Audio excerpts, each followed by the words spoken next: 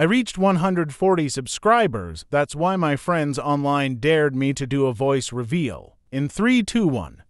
Okay, anyways, I reveal my real voice is because uh, I reached 140 subscribers. I made one sticks. Uh, uh, but I made too many mistakes in this video.